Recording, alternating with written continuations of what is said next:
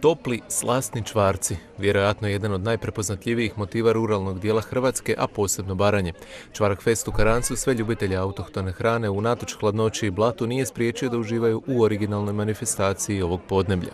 Ovaj vaša sada deset, deseta godina, a sedma godina je Čvarak Fest.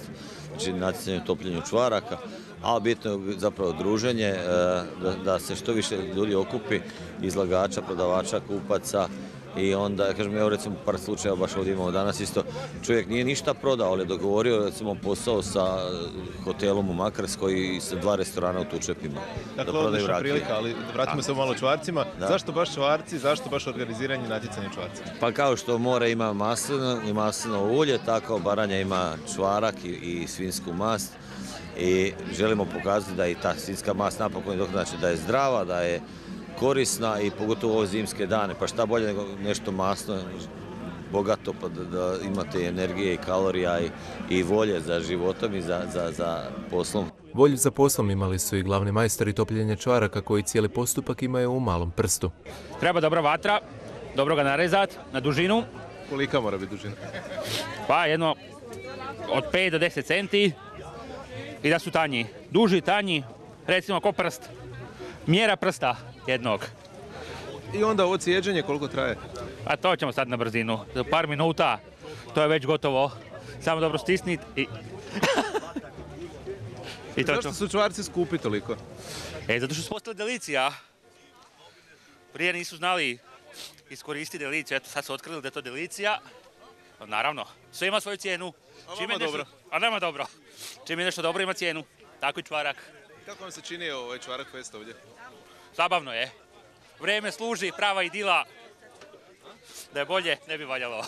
Cijelu proceduru svladala i Svjetlana, iako do sada nije imala previše iskustva s čvarcima. Ko radi bolje čvarke, vi ili muški kolege? Muški kolege. Zašto? Pa mislim da više iskustva. Je vam ovo prvi puta? Meni da. Iskreno. Je li teško? Ne, nije. Nije. Što mislite o ovom čvarak festu?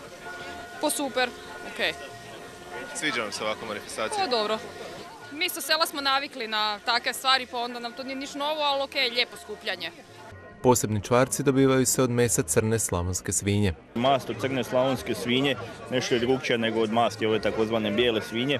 Naime, crna slavonska svinja drži se na otvorenom, konkretno ovo je mast ili ovo su čvarci od svinja koje su stare minimalno dvije godine i držane na otvorenom, hranjene posebno, znači samo zrnom i djetelinom preko ljeta.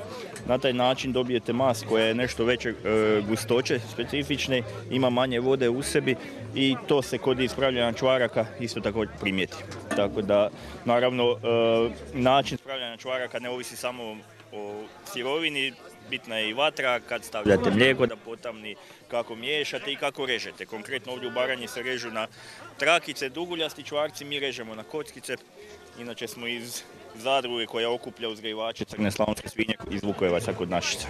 Čvarak Festom krenuo je program Adventa u Baranji koji će ove godine svojim sadržajem i priređenim aktivnostima pokriti gotovo cijelo ovo područje. Krenuli smo s Adventskom subotom, malo smo promijenili adventske događaje. E, vrijeme nas je kako bi rekao, poslužilo nas nije poslužilo. Je, zima je, jesen je došla, snijeg je počeo padat, e, ali to je Baranja, to je Slavonija.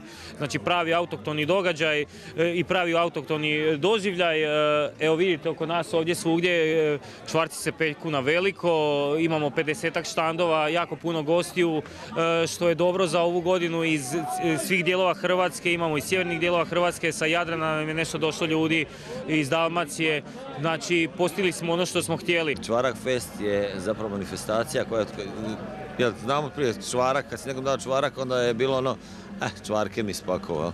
A sad evo otimati se ljudi za čvarke, znači kako se kazan skida, tako ljudi kupuju, malte ne mogli bi napraviti burzu čvaraka, a ne čvarak fest. Odakle sad tolika potražnja i tolika cijena visoka čvarcima u odnosu na nekadašnju, što bi se reklo, otpadnu robu?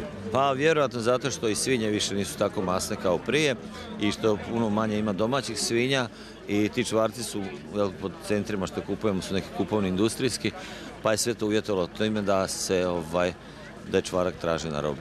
Koliko je izlagača, odnosno pekača čvaraka? Pa imali smo 8-9 kazana čvaraka, znači 9 takmičara, a štandova je bilo negdje oko 50 s obzirom na ovako vrijeme, ali bez obzira na to, onaj ko voli, ko zna šta je selo, ovo zapravo je pravi ugođaj sela. I na Svinjokolji nikad kad ste bili, uvijek je tako bilo malo po blatu, malo zima, pa nije se moglo birati, moglo si raditi kad si mogao. Tako da je ovo zapravo jedan pravi doživljaj života na selu. Ja uvijek kažem, doživite život na selu, e to je upravo danas ovdje. Ovako je selo, da nemamo zašto da šminkamo, da se lažemo. Pa to je takva stvarnost, to je realnost, mi tu živimo svaki dan i dobro nam je, lijepo nam je i ne bi se mijenjao s nikim za karanac. Desetak majstora čvaraka pripremila je posjetiteljima Čvarak Festa još jednu nezaboravnu gastrofantaziju, a sve je bilo začinjeno i ponudom različitih domaćih sitnica na okolnim štandovima.